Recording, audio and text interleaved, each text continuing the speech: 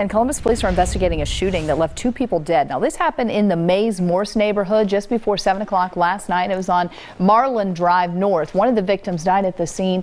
The other was rushed to the hospital in critical condition, but died a short time later. Police do not have any information about a motive or possible suspects at this time.